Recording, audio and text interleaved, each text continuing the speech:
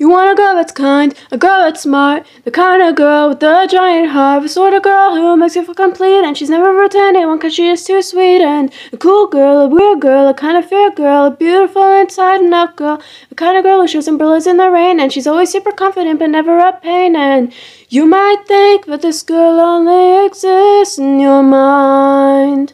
Well, guess what? You're right.